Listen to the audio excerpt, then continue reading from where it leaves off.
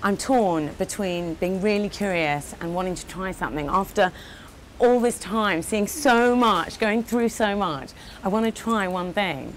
But then I don't want to reinforce the idea that women have to pretend to be younger than they are. Can't we just be as old as we are?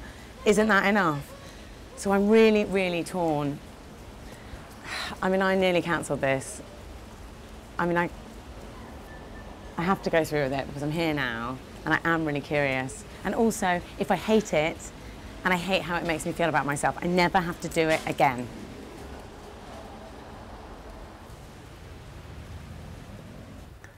Hi, Dr. Nina. Hello, so nice to meet you. Lovely to meet you. Please have a seat, make Okay. yourself comfortable. Where do we start? Right, so what brought you here? How can I help you? So I've been doing a lot of thinking about plastic mm-hmm. surgery, Okay. about why women have it, what they have, Yeah. and what are the consequences. Yeah. And I've just seen so much and have had really a, a it's been very complicated because it's a complicated subject. So I've got lots of questions. Yes. Um, have you had Botox? Yes. Yes? Many times. And yes. it's fine? It's a prescription only toxin, so it's something that obviously you can only do with a qualified doctor or dentist or nurse. It has been used actually in medicine for many years. Uh, they started to use it about 50, 60 years ago uh, to cure uh, muscle spasm. Um, and then they actually realized as a side effect that it was actually softening the lines.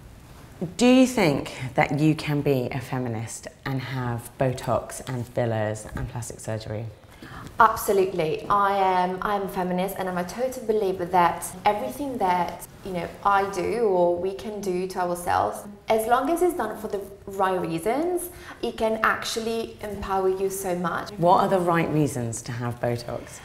Well, whenever I assess my, my patient, I can always tell just from the consultation uh, what are the reasons behind it. So if someone wants to have it because they want to completely change themselves or uh, completely change uh, their faces or they're not happy with themselves and they think by having Botox that will solve some inside issues, then I'm like, aha, you're in the wrong place. Sorry, I can't do it. Everyone says, watch out, because Botox is the gateway drug to surgery. Is, it, is Botox the beginning of a slippery slope? Right, so it totally depends on yourself. So I've I've been doing I call it baby Botox, so it's very small dose of myself for many many years, and uh, you can um, I know I'm just gonna keep doing the minimal. So no, I, I really don't, don't think so. All right, those are my main questions. Thank you. What's next? I need you to fill, please, a medical history. Uh, so I need to have all your details and all everything about your health, just to make sure you're suitable to have it. Uh, if you've got any questions, please let me know. Um, and if you're happy, then if you can just sign down here, and they will be lovely. Okay. After going through my medical and safety details with Dr. Nina, that's when the nerves really started to kick in. Can I be a feminist and have a procedure like this done? Will it change my face? And will I like the results? Is this a slippery slope? And am I doing this in the name of research or vanity?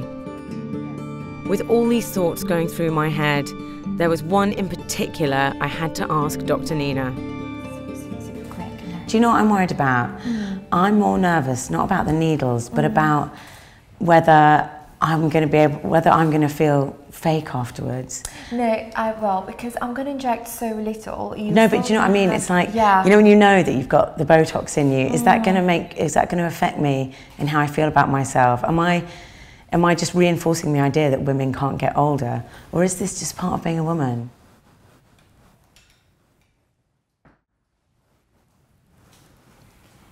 Okay, so syringes are being loaded. Back here. Great. Right, so I'm just gonna start to inject your, your frown line. So you're just gonna feel a very tiny pinprick coming and that's it. Fine. Okay. I've had two children. Exactly. You're ready for everything. Okay, Okay. So when you're ready, yeah, just deep breath in And breathe out, just a tiny sharp scratch. Perfect. Okay? Mm -hmm. Well done. Tiny sharp. That's great. Okay? Mm -hmm. Tiny sharp again.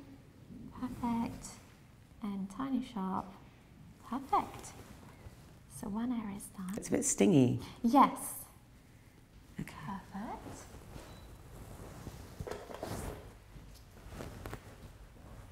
I'm just going to go on your forehead. So again, just a tiny sharp scratch.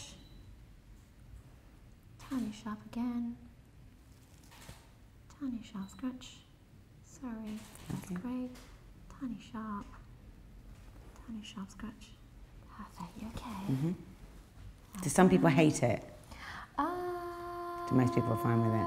No, I mean, yeah, I've got like maybe one or two clients are like, oh no, again, it's that time again. But then they all get used to it, and because it takes so quick. God, the things we do, the things we do as women. It's endless. I mean, yeah. I so now just around your eyes. So when you're ready, just a very relaxed, tiny sharp scratch. Well done. And tiny sharp again. Perfect sensitive around there, isn't it? Yeah, exactly. Yeah. That's great. So one is up. Just on the other side for me. Thank you. And tiny sharp. Well done. And tiny sharp. Perfect. All done. That's that it? Yes.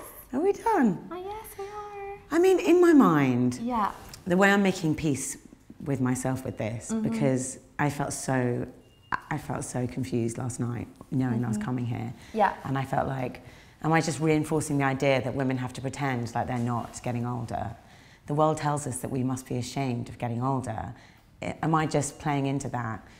And then I looked at my I looked at my bathroom and I saw all this cream and mm. my hairbrush and you know I dye my hair and I thought if I can just keep it as this yeah. and nothing else and no yes. more maybe this is just an extension for face cream for me totally or going to the gym or dyeing my hair but it has to stop after this it can't be a slippery slope. I can make peace with this. That's fine. But I can't if, I, if this becomes something else. So there we go. Botox is in the face. I still feel really conflicted. Am I just reinforcing the idea that women have to be ashamed of getting older? Why should I have to be ashamed of wrinkles? I am getting older. Isn't that great? So I feel like I'm just playing that game. But on the other hand, maybe I'll love it. Maybe it's no different from wearing sunscreen and going to the gym and dyeing my hair and getting a spray tan. Maybe it's no, no big deal. So just, I need to think about it, I need to reflect on it. And I think when it kicks in, in a couple of days, that will probably help make my decision. But am I just falling into the vanity pit again? I don't know. So I think I need to have a think about it. It's so weird. It's so weird that I've had Botox. I've got this Botox in my face. Okay. Ugh.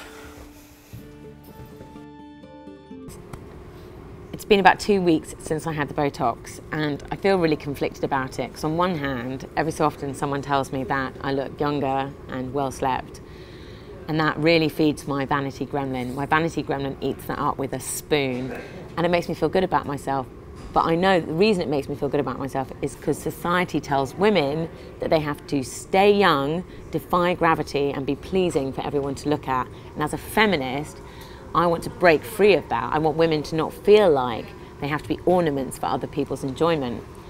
And so, in by having the Botox, am I really just contradicting myself?